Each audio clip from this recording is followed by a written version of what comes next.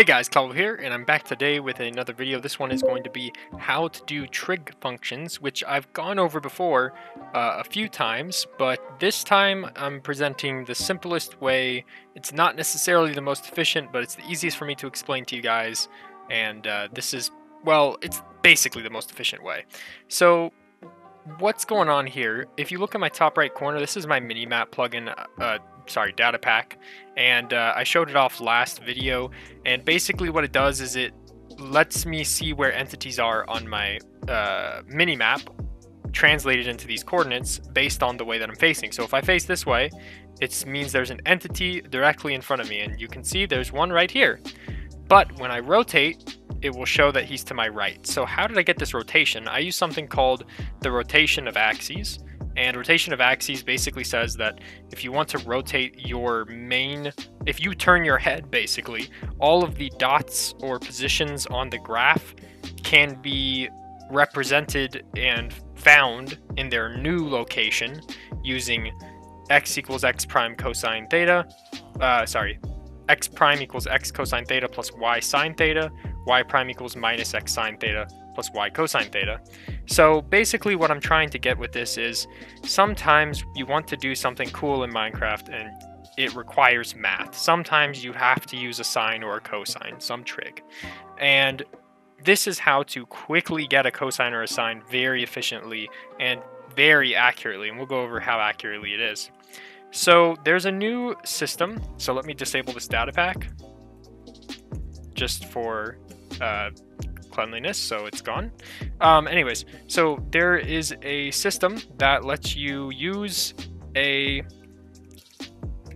relative coordinates. So if I use this and I put 5, that means 5 in the direction I'm facing, there will place a stone. And as you can see, approximately 5 in the direction I'm facing, there's a stone. Of course, it's shifted down because my eye, it's uh, this doesn't go based on my eyes, it goes based on my feet. Um, if I wanted it to come out of my eyes, I'd have to shift it upwards. But basically in the direction of where my feet are, facing the direction I'm facing, starting from my feet, it puts a stone. So this can get kind of interesting. So if I decide to go just one, what does that do? It puts one that direction, right? And when you go into trig, if I go here and I go trigonometry triangle, we're going to go and get a trigonometry triangle. We can just take a look at it real quickly here. This is how trig works. We will go with this. So you have hypotenuse, sine, and cosine. And sine is equal to the opposite uh, side divided by the hypotenuse. But if we say that the hypotenuse is 1, then sine of theta is equal to opposite. So if we go into this and we pick some point, aka the player's location, and then we use this raycasting line to go, and I'm going to go 10, so it's exaggerated, but realistically, we really only need one, and you'll see why. But I'll go 10. So if we pick that point, and then we pick this point that the player has, right? We know that this is roughly 10. Okay? So this is roughly 10. Or I'll just directly put it at the right spot. So we are 10 up, right? Now, if we want to figure out what the sine is, well, sine is equal to the opposite, and that's it, because we know that the uh, we know that the hypotenuse is exactly 10. So in this case, we would just take the opposite angle, which is the length of this line, and divide it by 10, and that would give me exactly what sine of theta is. Sine of theta is equal to the length of this line divided by 10. Um, but in our case, we're just going to use 1, so then it will be exactly equal to the length of this line. And if we want cosine, well, cosine is just the length of this line. So how do we do that mathematically with stuff in Minecraft to get the length of this line and the length of this line? Well, that's fairly simple. It depends on what direction you want to use. So you have two angles that you can work with with the player, and that is Rx and Ry. So I divided my math and trig, and I will have a uh, zip file with all these functions in the description. I divided it into Rx, Ry, and uh, sine and cosine. So there's actually four because 3D sine and cosine is a little bit more complicated and not really necessary for most cases. Um, in this mini-map case, I only needed 2D, and I needed it horizontally. So, if you say, let's say, sine of ry, what are we going to do? So, we're going to start with this idea, except instead of placing a block, we are going to spawn a area effect cloud. So, what we do is we use this cool system right here called rotated tilde zero. So what this does is it keeps my uh, horizontal rotation, my left to right rotation, but it makes my vertical rotation zero. Then it summons an area effect cloud directly one block in the direction I'm facing minus the vertical. So if I look like this, it will summon an area effect cloud like here, but it won't summon it vertically because I got rid of the vertical component before summoning it. Okay, so we have that guy. Now all we have to do is take, well, sorry. Uh, we want, we can close that. We want to get the distance from, uh, essentially we want to get the distance from here to here, except like flat. So it would be like left to right. So we just need to grab the position of the player. So we store onto a scoreboard what my position is times a thousand. So we have some accuracy. Then we store onto another scoreboard the position in the same coordinate direction of the area effect cloud times a thousand. Then we subtract their position minus our position, and we get a result of, well, the distance. If we take, if we grab this point, and then we grab this point, and we subtract them, that gives us the distance here. And the distance is exactly equal to the sine. And then we kill the area effect cloud. So, if I am looking, um, let's give it 77. 78.6. Okay? Math colon trig slash cosine rx. Uh, no, sorry, ry, or sine ry. Um, keep in mind that ry means this left value and rx means the vertical. It's kind of confusing, but ry is horizontal and rx is vertical. And that's just because that's how the game does it if you do a selector. If entity add a rotation uh, X rotation. X rotation is vertical and Y rotation is horizontal. Um, so if I play that function, I'm going to get negative 883.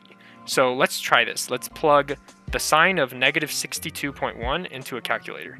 So we just have to go negative 62.1 and then we click sine. And what's the value? Negative 8837656, blah, blah, blah, blah, blah.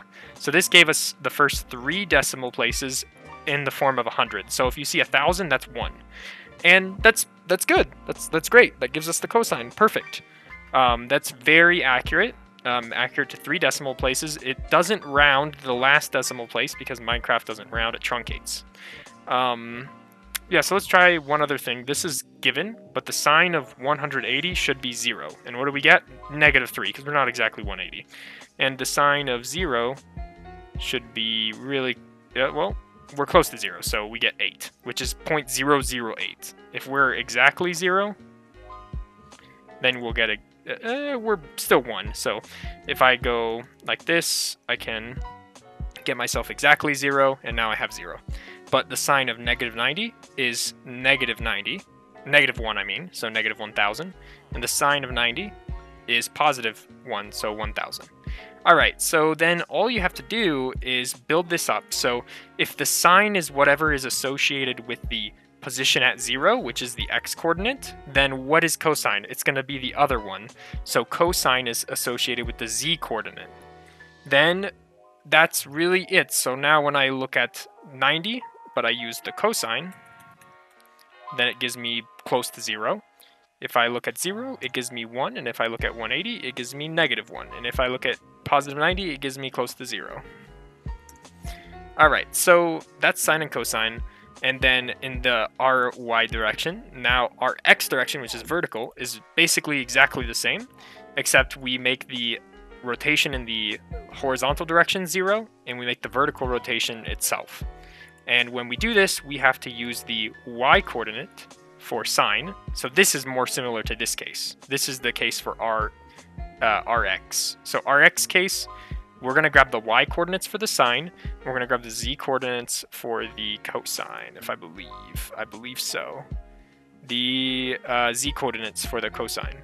So we grab the y coordinates for the sine, the z coordinates for the cosine, and then the one little trick is if you're the cosine is always going to be positive for this range, and this one makes it negative, so I just make it force it to be positive with this last line here. So if I do that and I look with F3, my second rotation coordinate right here is at 0, so the cosine of Rx is 1, but the sine of Rx is 0.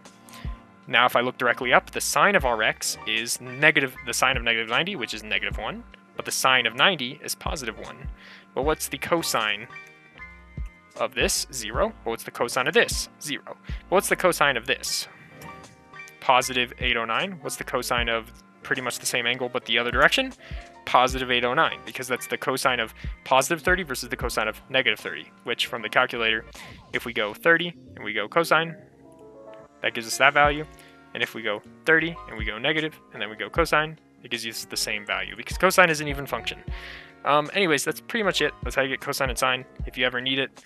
Um, I pretty much did that for the minimap. Um, I grabbed those two values and then used them in the different locations to multiply and add, and uh, put everything together from there.